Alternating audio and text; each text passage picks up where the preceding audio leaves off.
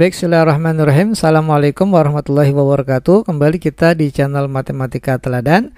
Kita lanjutkan pembahasan geometri untuk persiapan OSN bidang matematika. Oke, di sini kita diberikan persegi ABCD dengan titik P, Q, R, S ini adalah uh, titik tengah dari masing-masing sisi persegi. Oke, langsung pertanyaannya apabila kita diinformasikan bahwa uh, luas persegi ABCD ini sama dengan satu ya maka tentukan luas daerah yang diarsir atau yang berwarna hijau. Oke untuk menyikat waktu coba kita langsung bahas ya uh, menentukan luas daerah yang diarsir. Oke nah ini kita bagi-bagi ya. Nah, di sini uh, luas yang diarsir ya kita hubungkan D dengan B, A dengan C, ya. Kemudian Q dengan C, A dengan R, ya, C dengan P, A dengan S, ya. Nah, adapun dapat nilai K ini dari mana? Nah, akan saya jelaskan di sini. E, kita lihat ya titik Q ini adalah tengah-tengah AB sehingga panjang AQ pasti sama dengan panjang BQ. Nah, kemudian luas AKT AKT dengan alas AKI itu sama pasti dengan luas BKT alasnya BK ya. Karena BK sama dengan AKI dengan tinggi yang sama maka luas AKT dengan BKT pasti sama. Kita misalkan adalah K jadi ini K dengan K. Nah kalau kita perhatikan ya segitiga ABT kemudian C BT kemudian Eh, CVD satu lagi AVD itu sama. Ya bisa diperhatikan. Bisa dibuktikan? Ya ini kongruen ya segitiga ATB BTC CVD dan DVA nah kita lihat dengan cara yang sama titik R mana R? R di sini. Ini tengah-tengah BC ya maka luas B ya RT atau BTR dengan RTC itu pasti sama. Kenapa? Karena alas BR dengan CR itu sama ya. Tingginya sudah pasti sama. Tinggi 3 BTR dengan CTR. Sehingga kita punya BRT atau BTR luasnya sama dengan CRT. Ini sama-sama uh, sama dengan K. Dengan cara yang sama ya.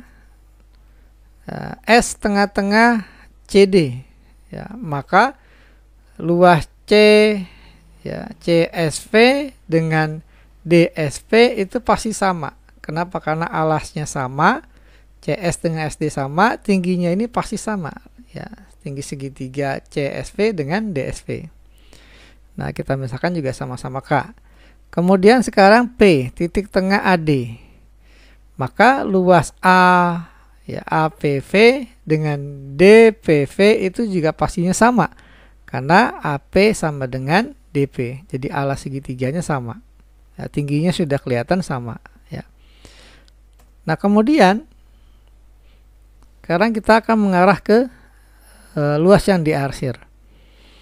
Nah, R adalah tengah-tengah BC maka pastinya segitiga BRA atau ABR dengan CRA itu sama ya segitiga ABR sama dengan ACR. Karena alasnya BR dengan RC sama, tingginya sama-sama AB. Ya. Nah, kita belum tahu berapa besarnya, kita lihat ABR ini sama dengan ACR. ABR itu terdiri dari segitiga BRT, BKT, dan AKT. Sementara segitiga ACR itu terdiri dari CRT, ini CRT, kemudian CTU kita belum tahu nih umpamanya besarnya berapa. Kemudian satu lagi adalah ATU ATU nah ini. Nah kita tahu BRT tadi adalah K BKTK AKT juga K. CRT juga sama dengan K ya CRT tambah yang belum tahu adalah CTU ini dengan ATU nah ini kita belum tahu. Oke, ini K habis dengan ini, maka ruas kiri jadi 2K dan kita perhatikan bahwa AU ini tengah-tengah AC. Pasti panjang AU dengan CU sama. Sehingga luas segitiga CTU ya dengan ATU pastinya sama. Ya, CTU dengan ATU sama. Ini sama ini sama. Sehingga kita dapatkan persamaannya menjadi 2K, ini kayaknya habis ya. Nah, kiri kanan kita cara satu dengan satu. Luas kiri tinggal 2K, luas kanan ini ATU kan sama dengan CTU, maka CTU sama CTU jadi 2 CTU.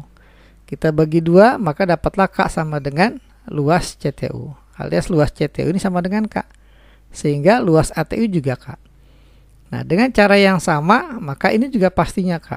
Ya, P tengah-tengah AD, ya, maka ya luas ACP itu sama dengan luas DCP. Ya, dengan cara yang sama nanti boleh dibuktikan bahwa luas e, CVU sama dengan K sama dengan luas AVU. Ini juga K. Nah, ya, jadi kita simpulkan bahwa luas CVU ya CVU sama dengan luas AVU sama dengan luas CTU sama dengan luas ATU ya sama dengan K. Sehingga yang ditanya yang diarsir ini luas yang diarsir sama dengan 4K ya.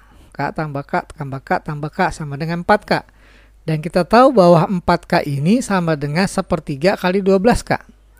Kenapa kita bikin 12K? Karena ABCD, ABCD persegi ini, ABCD itu luasnya adalah 12K ya kalau kita jumlahkan K-nya ada 12 jadi 12K dan 12K ini tadi adalah luas ABCD jadi luasan DRC sama dengan sepertiga dikali luas ABCD nah kita di awal dikasih tahu bahwa luas ABCD sama dengan satu sehingga luasan DRC sama dengan sepertiga dikali satu sama dengan satu per tiga.